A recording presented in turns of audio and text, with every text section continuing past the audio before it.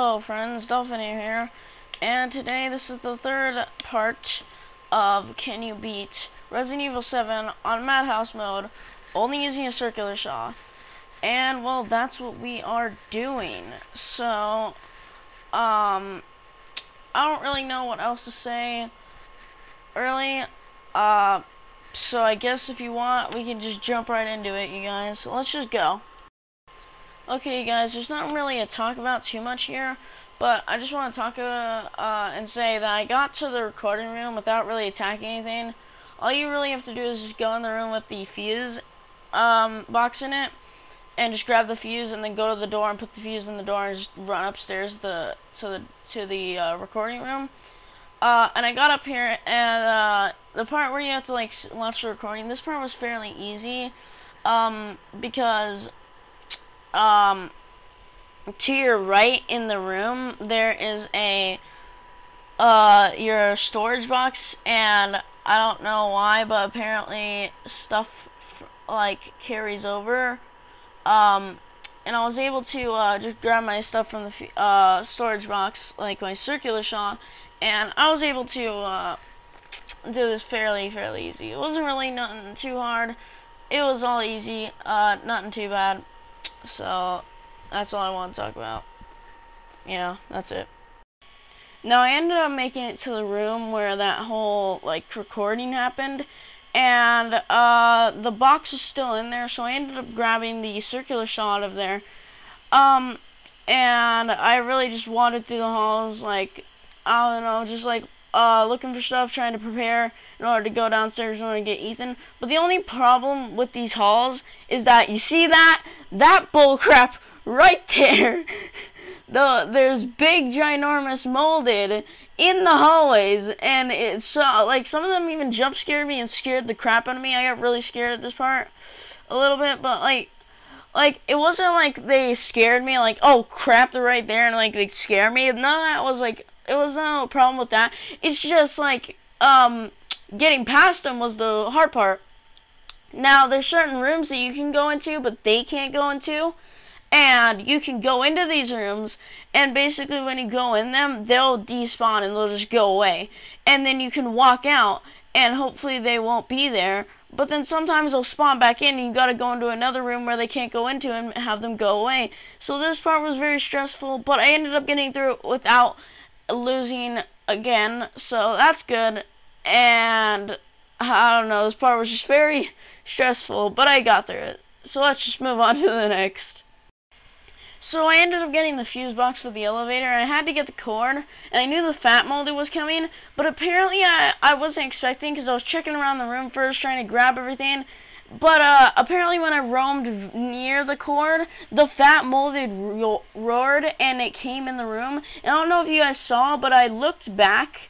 Um, at the beginning, I ended up looking backwards in order to check for the fat molded. I don't know why I did that because that wasted like a ton of time, which is a stupid idea to do. And I was not, I was not expecting it to happen so fast. I was like expecting like to wait a little bit, then I was gonna grab it and be ready. But no, it just like hurled itself at me, and I was not ready. So I just started grabbing crap, grabbing the cord immediately, and I closed the door on the way out so that they couldn't follow me. And I ended up getting through this part first try, and that was really good. And I got the elevator working and all that stuff, and nothing else of like really interest happened afterwards. So let's just move on to the next part. So we have another fail in the challenge because this part is where a fat molded shows up and at this point in the challenge, I was like, oh, forget it. We're nearing the end. I'm just to blow him up. And I blew him up, and now I think back on it, I actually probably could have killed this guy using um uh, the circular saw.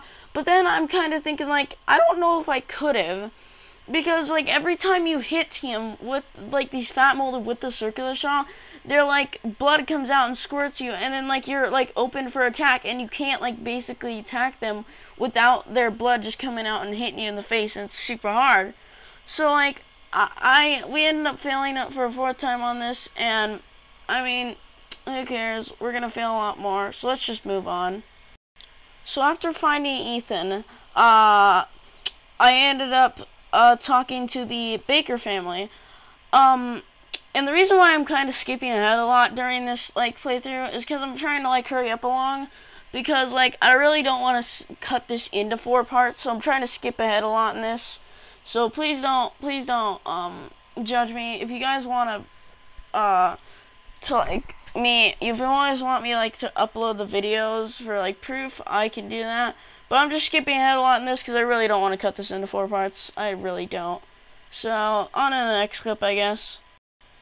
Alright, so after getting into the mines, you end up having to fight um, what people call mama molded and uh, also regular um, uh, big fat molded. Um, and yeah, I failed the challenge again right here, but I, at this point I didn't really care. Uh, so this is about five fails now, but uh, for some reason, like a big stupid dumb dumb no brain head, I ended up not recording the final part of like this, uh, like the final part of this, like where you get to like Evelyn. So now I had to go back and record that all, which is pretty annoying, but who cares? It's done and over. So let's just go on to that clip now.